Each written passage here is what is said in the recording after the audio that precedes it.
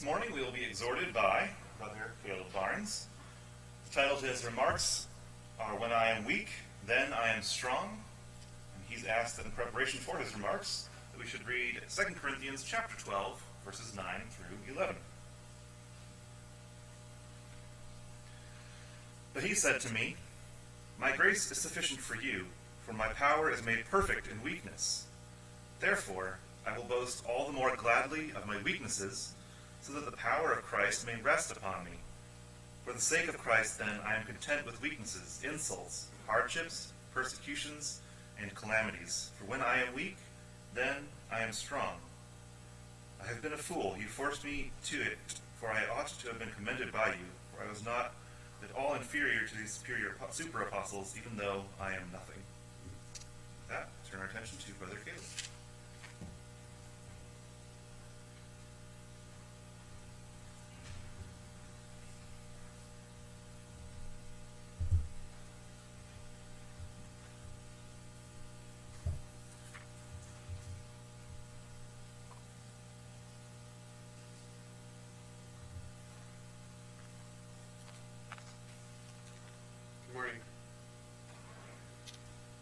Disclosure, this talk I wrote um, probably about three months ago, the last time I was up to speak.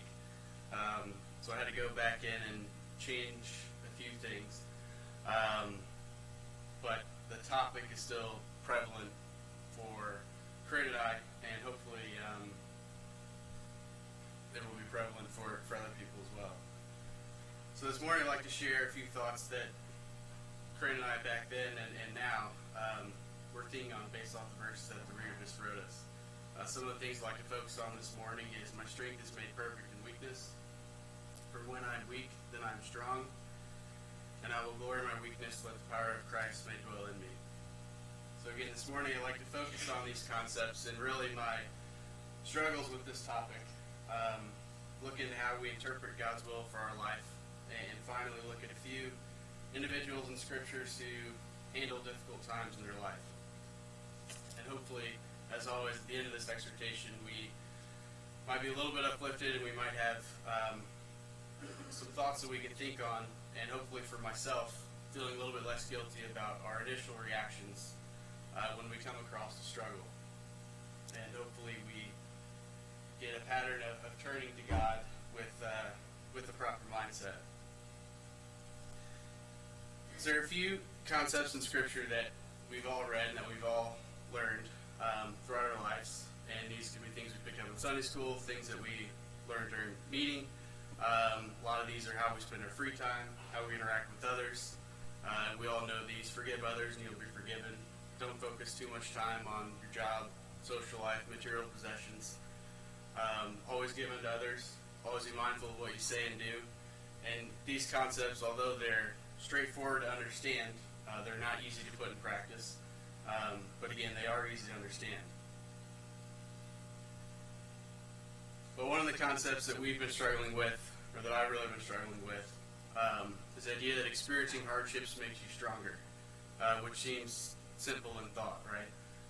By getting through tough times, we become better equipped to deal with our trials. We're more empathetic to others in similar situations, and perhaps we're more exposed to realities of life, and we're less vulnerable in the future. But in the middle of our battles, or even after, this concept seems it couldn't be any more untrue. Personally, instead of feeling like I'm able to withstand more,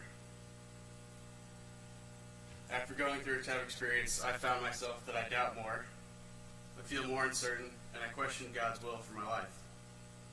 I feel less equipped to deal with tough times, more vulnerable to anything that comes up, and weaker and more inward focusing than ever. I don't feel I'm able to be supportive of others as I should, and instead I spend a lot of time trying to deal with my own circumstances rather than those around me.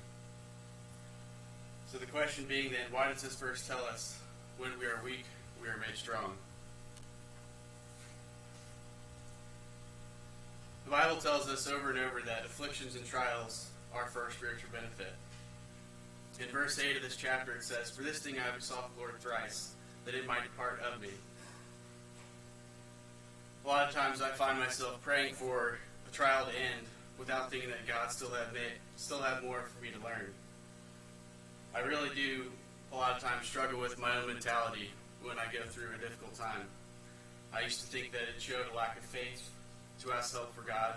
It showed that I couldn't handle difficulties in my life. And obviously, we know that is the wrong mindset. And based off this verse, we do know that it is okay to ask God for help in these difficult times. And we know whenever Jesus was in the garden that he prayed three times for the cup to be removed.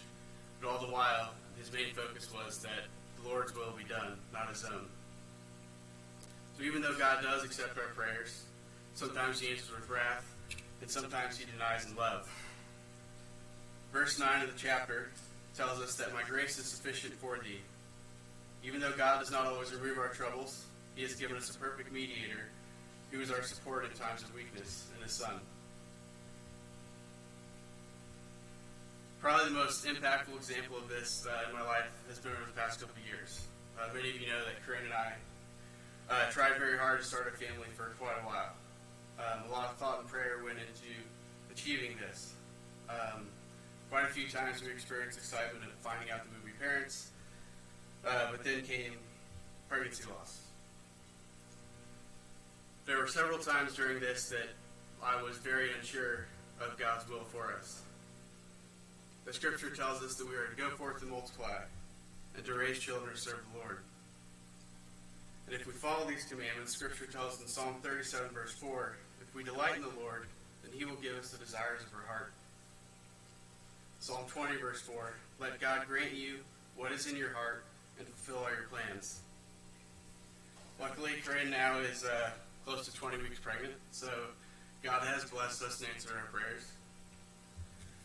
But even still, um, I still find ways to doubt. I still find ways that I struggle with this.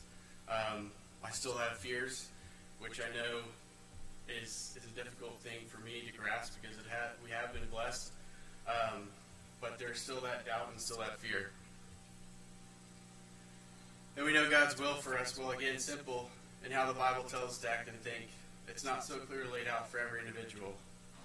And we know that interpreting God's will in our lives is pretty much impossible.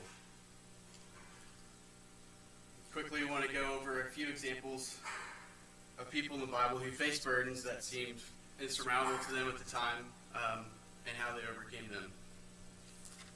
The first quick example I like to look at is that of Joseph. Although there is no recorded sin of Joseph in the Bible, he was constantly being oppressed and mistreated, and really through no fault of his own. He was loved by his father the most, his brothers hated him, and they sold him into slavery. Joseph was sold into slavery where he spent 11 years as the head of Potiphar's house. After fleeing temptation and not giving in to temptation, Joseph was then wrongfully accused and thrown into prison and served as head of the prisoners for over two years. Through God's help, Joseph interpreted a dream for Pharaoh and became second in command of all of Egypt. Joseph's path was not always easy.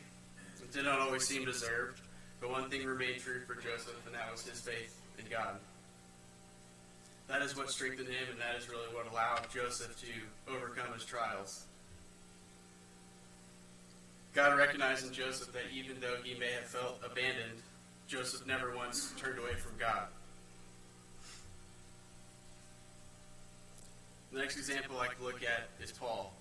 Uh, we know how Paul's life started off. Paul was uh, ruler in the temple uh, and personally oversaw the death of many of Jesus' apostles. And most notably, the last one, uh, he was mentioned by name at the stoning of Stephen. Not long after that, we know the story of Paul. He was on his way to Emmaus, where he was blinded and then converted. After his conversion, Paul quickly turned into one of the most influential, important members of spreading God's word in the first century. We know from this chapter that Paul did, though, live with a great obstacle. Paul mentions verse 70 and verse 7 that there was given to him a thorn in the flesh. We're never really specifically told whether this was a mental or physical affliction, only that it was unbearable for Paul.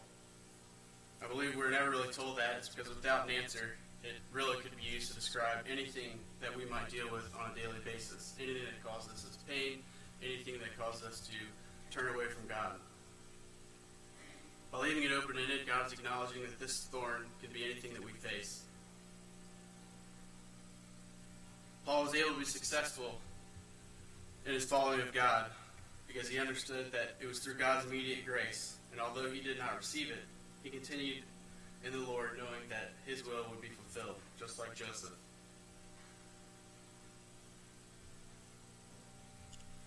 Last aspect of this talk I'd like to focus on um, is the role that we play in this process, and the role that we play as brothers and sisters to each other. For examining the examples above, there are key points that we've pulled from both of these men, even though they both went about it differently. Throughout Joseph's whole life in dealing with his misfortunes, uh, there's never once a recorded prayer. There's never once where he, he prayed to God. It was always a continual conversation, or it was through dreams. But again, there's never a recorded prayer of it being too much, or for Joseph to ask God to take away his misery. We know that Joseph showed ultimate faith in every situation he was put in. We know that Paul was a little bit of a different story, and to me, Paul is a little bit more relatable. Um, because Paul did God did ask for God to remove his pain. Through Paul's example, we know there is an ability to express our concern to God, and that sometimes things are just too unbearable for us to move forward. Paul showed us that we can ask God to remove our trials, even though they could be beneficial for us. And we know that Paul did not show a lack of faith by asking God to remove this thorn. And I think it's an important lesson for us to learn. Again, I sometimes find myself thinking that if I'm asking for an easier outcome, that I'm showing God that I don't believe in Him or that I don't believe He will look out for me. But again, there is no harm in asking that for God, because we have countless examples of faithful men and women in Scripture who did cry out to the Lord for comfort. And again, this brings back the importance of, like Joseph, not just praying to God, but having a continual dialogue with God so that our first thought is on Him, regardless of what situation we're in.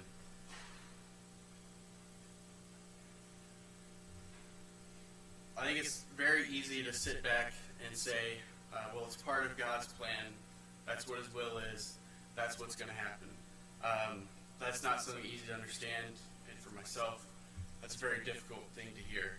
Um, we heard that a lot over the past couple of years, and it was it's a very difficult concept to understand because it's it's something that, that we say to each other and we know it's true, but it's it's not something that you can really grasp. But again, in times of need, that's when our brothers and sisters are needed the most. And we know that Sunday is important in so many ways, not just for why we are here for the memorial table, but for support of each other.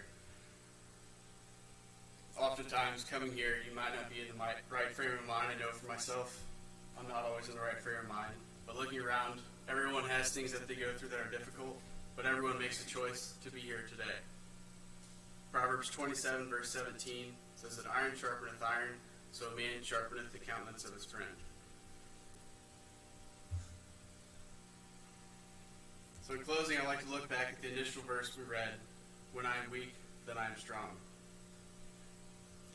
I can definitely see this thought in action when I look at my own marriage with Corinne. Uh, without a doubt, a thousand times closer, more bonded since we went through uh, the losses than we were before. While I do not personally feel stronger as an individual, our relationship has grown, and I do feel I'm more prepared to help her and understand her. But again, if that much can be gained through relying on a spouse, how much more powerful could my development been had I given all my concerns to God? While I may feel weak myself, our Heavenly Father and His Son are powerful enough to bring peace and strength, and that is what I believe this verse suggests. When we are weak, we need to turn to God, and through Him, only then will we be made strong. With that being said, I do think we need to be careful with what we expect from God. Um, the Bible tells us that every good and perfect thing comes from above, and that does not mean that, that we are truly or really owed anything at all. All that is given is by the grace and mercy of our Father, and we need to center our thoughts on those things rather than questioning what we want or what we don't have. Looking back over the last couple years, um, I would say that my attitude should have definitely been different. Um, never felt more angry, more frustrated. uh, became very jaded, uh, and every time we would get a positive test, uh, instead of feelings of excitement, um, all I would feel was was dread. And again, looking at that, it's it's difficult to view how God looked at that, right? God gave us blessing after blessing, but because I wasn't satisfied, because it's not what I wanted, I wasn't happy. It wasn't until the last loss that Corinne and I really gave up trying to figure this out for ourselves. Um, we realized that without turning everything over to God, uh, without fully relying on Him, that this just was not going to work out. But fortunately, God has blessed us, and God does bless us every day. Some of the things in life that we ask for could be minor, um, but often they're quite profound.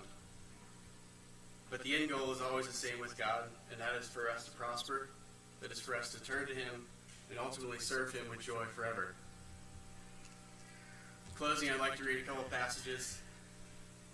First one is from Jeremiah 29, verse 11, which says, For I know the plans I have for you, declares the Lord, plans to prosper you and not to harm you, plans to give you hope and a future. And the last one, I'd like to read from Philippians 4, verses 4 to 13. Rejoice in the Lord always. Again, I say rejoice.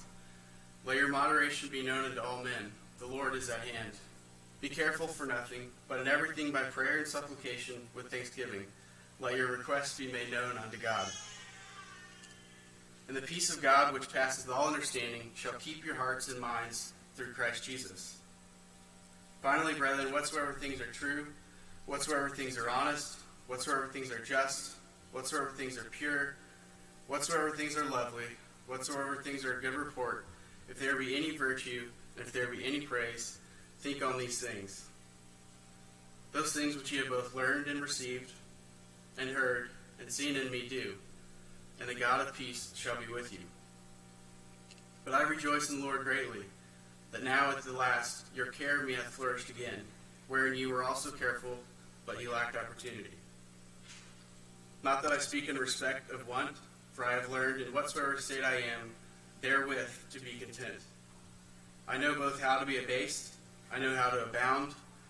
Everywhere and in all things I am instructed both to be full and to be hungry, both to abound and to suffer need. I can do all things through Christ which strengtheneth me.